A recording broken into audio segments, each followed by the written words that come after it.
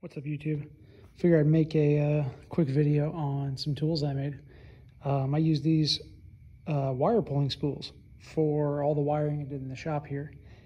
And I figured I'd show you what I, how I made them and what I did. Uh, first off, hang on. All right, so what I did, took some scrap 2x4, screwed it together. You can kind of see how that goes uh, just in like a pallet-like fashion. And then I got a Lazy Susan off Amazon. I think I picked uh, these up. I can get a good look at it in there. Two for nine bucks maybe on Amazon on Prime. And so I made two racks, two pulling uh, spools. And as you can see, it spins. Now, not the cleanest thing in the world, all right? It's not the lots of sawdust in there right now, but it does work. Uh, I originally just had this flat and had the wire spool sitting on top of it.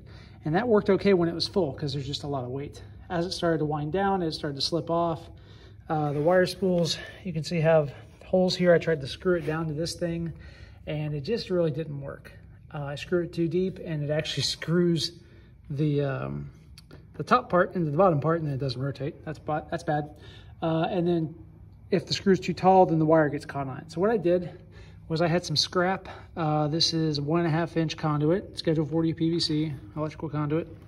And I just drilled a hole, you know, the size of the conduit, into the top part here.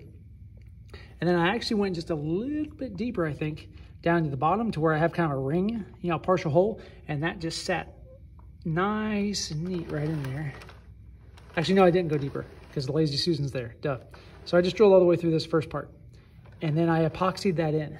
And I didn't do a very good job of epoxying it in, but it seems to work.